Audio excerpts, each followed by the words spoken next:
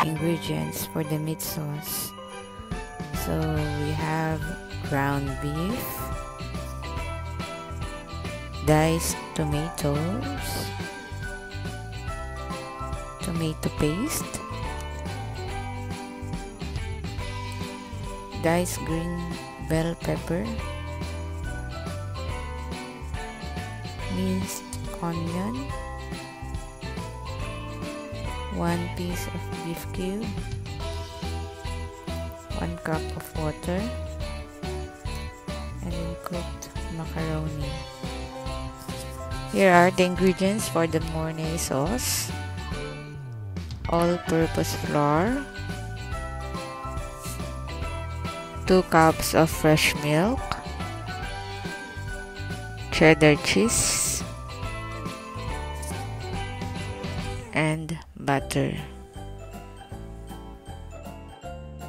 So let's start cooking by first boiling the macaroni. Pour the macaroni into the boiling water and then wait natin like around 6 to 8 minutes bago siya maluto.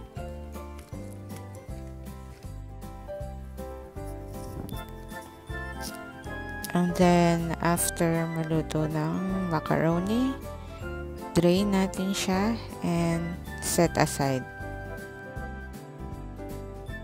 And now, let's start with cooking the meat sauce. First, melt the butter into a hot pan. So, wait mo lang na malusaw yung butter.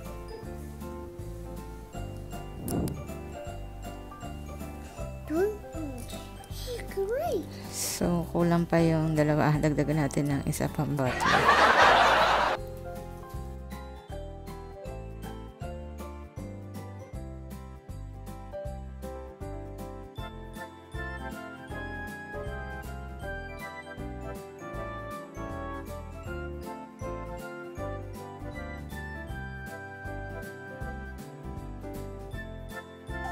Wait natin na minute yung butter bago natin ilagay yung ground beef. So now, pwede na natin i-add yung ground beef.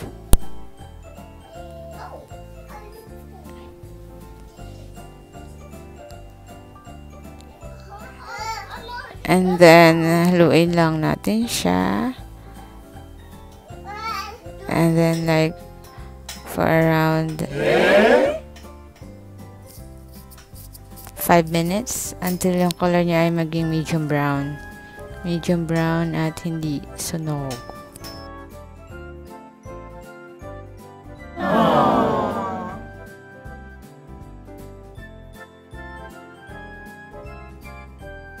lang mga besh para hindi dumikit yung meat sa pan.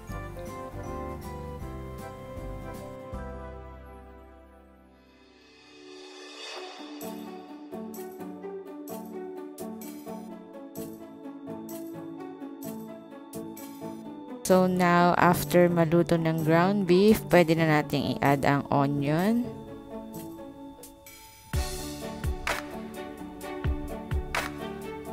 And then the green bell pepper. Add na rin natin. And then, add na din natin yung diced tomatoes. Haluin mo lang ulit. And simmer natin siya for 3 minutes.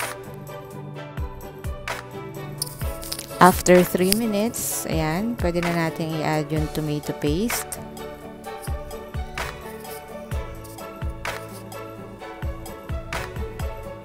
And then 1 cup of water and 1 piece of beef cube. And then, halo ulit mga besh. Halo lang para mahalo.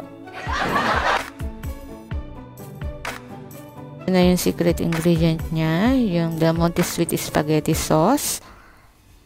Stir natin siya and simmer natin siya for 20 minutes.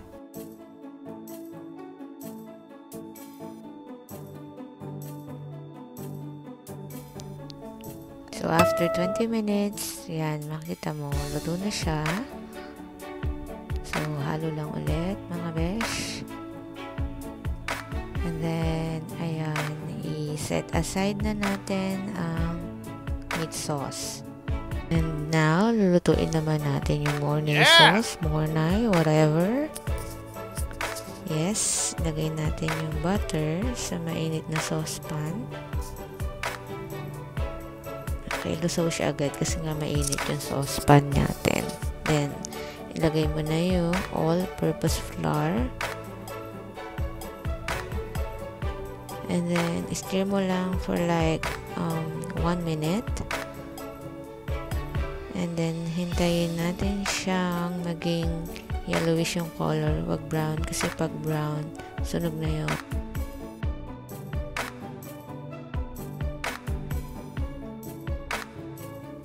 Then, pwede na natin ilagay yung fresh milk. 2 cups of fresh milk. Whisk mo lang. Whisk mo siya hanggang mag-thicken na yung sauce tsaka kumulo siya.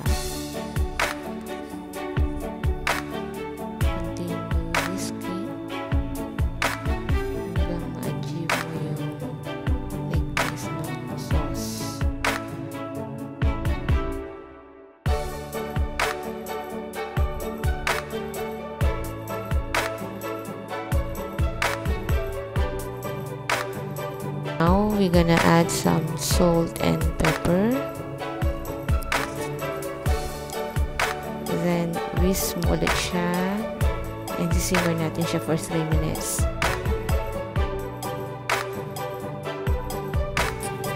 Okay, after 3 minutes, let's add the cheddar cheese. Whisk lang natin ulit siya hanggang mag-melt yung cheese. Okay, luto na siya. So, set aside na natin ang morning sauce natin. So, now, mix natin yung cooked macaroni and meat sauce. Yes, halo lang natin siya.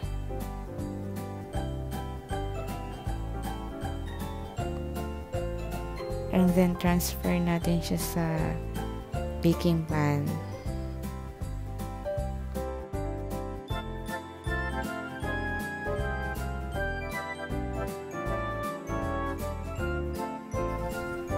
Then now, ilagay na natin yung morning sauce.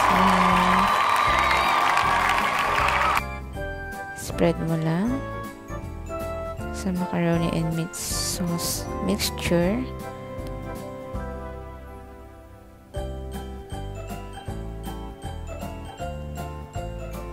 Make sure lang na every corner is makakover ng sauce.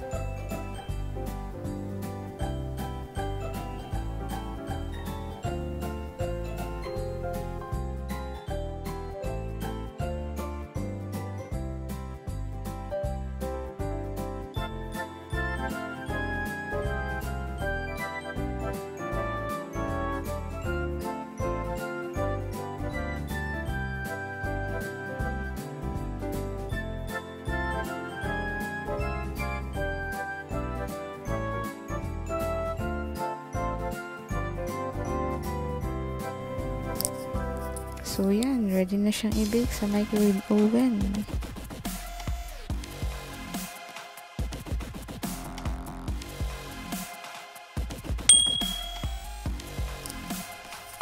Tada! Bake na! Yes! Hmm, kain na.